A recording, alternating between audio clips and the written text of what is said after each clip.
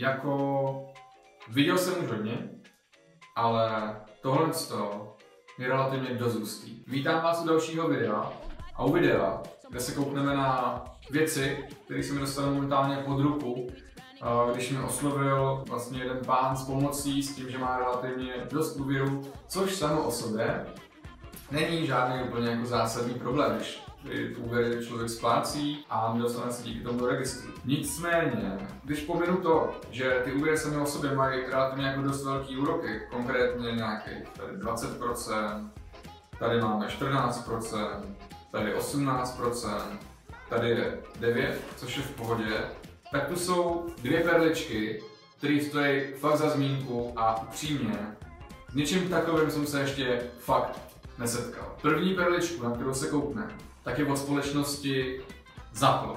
Zaplo? Nezaplo? Zaplo. No jasně. Láďa nám to doporučoval a pěkně nám tady tu společnost odpromoval. Upřímně nám ale doporučil svým způsobem takovou veřejnou lichvu. Dnes budou kůžičky, Adelko, mňaminka, velika. Konkrétně u téhle společnosti se klient učil 30 tisíc korun. Nebudem zkoumat, na co to potřeboval, pravděpodobně potřeboval něco zaplátnout, nějaký asi životní trouble.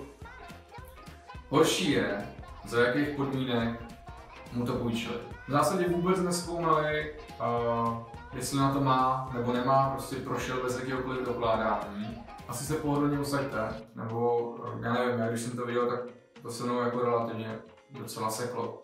Oni mu půjčili těch 30 tisíc na dva roky za 66% roční úrokové sazby a 91% RPSN. Jako já si říkám, jak sakra něco takového ještě pořád může existovat po těch všech regulacích, nařízení, po těch všech zákonech a potom všem hlídání úvěreschopnosti toho klienta jako takového, jak může existovat nějaká takováhle veřejná lichva. No a co je na tom ještě horší, jak někdo může odpromovat nějakou takovouhle společnost a udělat na ní úplně jako v zásadě reklamu, která vám vytrhne ten spaty. No, v podstatě jako ta společnost, která vám vytrhne ten spaty. A na to mám jeden takový zkaz. Vláďo, tohle to nebyla asi úplně jedna z vašich nejlepších vytávek. Pokud už tady tu situaci nechápete a zapotili jste se u tady toho případu a říkáte si, že to je fakt masakr, tak jo, máte pravdu, je to hustý, ale světe div se. Já jsem tomu jako sám nevěřil, ale může to být ještě horší. Cože? Mám tady ještě tu druhou perličku, která je od společnosti Profi Credit kde si klient půjčil 20 000 korun. Nebudu to nějak prodlužovat, na co to bylo, proč ty peníze potřeboval, opět potřeboval něco zaplácnout. Možná jsme říkali, že asi už nemůže být horší úroková sazba. Ale konkrétně tady má úrokovou sazbu 83% ročně.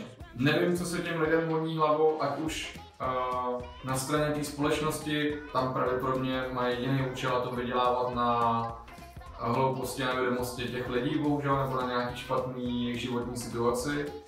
A na druhou stranu moc nechápu ani, ani ty lidi, kteří si to půjčí. Jako, OK, potřebujete peníze, potřebujete to jako něčem zaplácnout, ale i kdyby se to měli za 20%, 25%, jako podle mě existují společnosti, které vám to půjčí taky úplně bez žádného jako zkoumání příjmu, ale 66 nebo 80 3%. To je fakt šílenost. Jako za mě je mnohem lepší uh, sklopit hlavu, jít klidně za tou rodinou, po případě kamarádem a když už je nějaký trouble, tak poprosit o pomoc jako je. Uh, budete se cítit třeba jako trapně, nebo vám bude stydno, ale rozhodně nebudete muset čelit takovýmhle podmínkám, protože tady si fakt koledujete o to, že když nebudete splácet, tak uh, věřím tomu, že mají navázaný velmi schopný a obrovský chlapek, který to z vás stejně vymlátí s proměnutím, anebo prostě jako přeplatíte úplně ohromné částky a to je fakt jako šílený. Doporučuji uh, se kouknout na video od uh, Kovyho, který se jmenoval Šmejdi, uh, popisek vám dám dolů pod to video, abyste se na to mohli kouknout.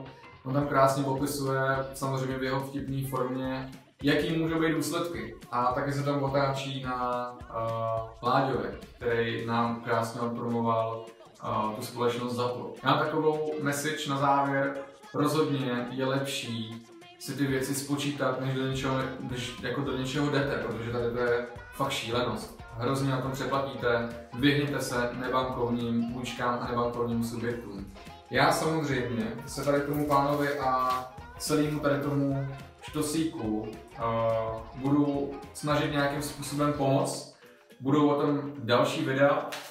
Těch videí samozřejmě nebudu zveřejňovat žádný osobní údaje, nějaký citlivý, uh, citlivý věci, které by mohly uh, vlastně víc k tomu, že by někdo poznal, kdo to je. Chci vám ukázat, jak moc je těžký se tady těch věcí uh, dostat, protože jakmile už jednou jste v nějaký nebankovní společnosti, tak uh, u ostatních normálních bank už nepůsobíte moc důvěryhodně, proto vám málo která společnost potom učí a nejde to moc dobře zaplácnout. Nicméně, budu se snažit, jak nejlíp to jde, proto nezapomeňte dát odběr tady toho videa, ať vám neunikne, jak jsme to s tady tím pánem vyřešili a třeba to může vyřešit nějakou vaši situaci. Pokud se nacházíte v něčem podobném, nebo prostě si zkontrolujte smlouvy, které doma máte, jestli tam máte nějakou takovou šílenost, zbavte se toho, nebo oslovte někoho, kdo tomu rozumí, ať vám s tím pomůže, jinak vás může čekat nemilej, nějaký životní nebo finanční trouble. Mějte se hezky a těším se na další video.